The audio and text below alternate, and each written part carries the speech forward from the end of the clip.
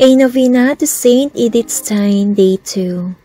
In the name of the Father, and of the Son, and of the Holy Spirit. Amen. God, we know the suffering that unfaithfulness brings you. We also know the joy you feel in watching your children embrace the faith in your love. That is why I am so grateful for your example, Saint Edith. Even at a young age, you knew that faith was something to be lived. You didn't see that example in the world around you. You didn't cave into this example. You didn't become lukewarm. You held out for the truth. Pray for me that I can do the same. You were also willing to admit when you had found the truth.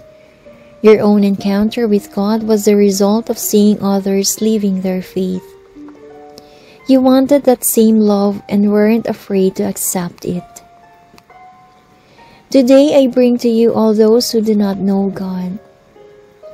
Edith, you know the struggles they face.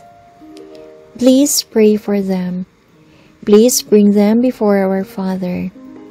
Please guide their hearts towards conversion so that they too may know God's love and joy in them. Please pray for me when I feel like I struggle to know our Father's love as well. I also ask at this time that you bring before our Lord my own intentions.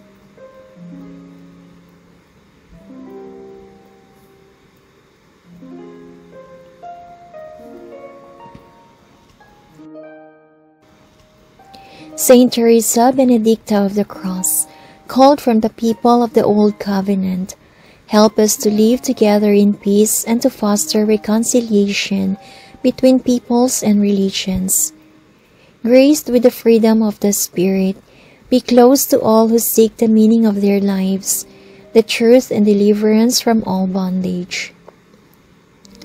Perfected in the wisdom of the cross, accompany us and all people in every distress of body and soul. Amen. Our Father, who art in heaven, hallowed be thy name, thy kingdom come. Thy will be done on earth as it is in heaven. Give us this day our daily bread, and forgive us our trespasses, as we forgive those who trespass against us. And lead us not into temptation, but deliver us from evil. Amen. Hail Mary, full of grace, the Lord is with thee.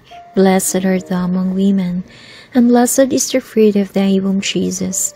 Holy Mary, Mother of God, pray for us sinners, now and at the hour of our death. Amen. Glory be to the Father, and to the Son, and to the Holy Spirit, as it was in the beginning, is now, and ever shall be, world without end. Amen. Saint Edith Stein, pray for us. In the name of the Father, and of the Son, and of the Holy Spirit. Amen.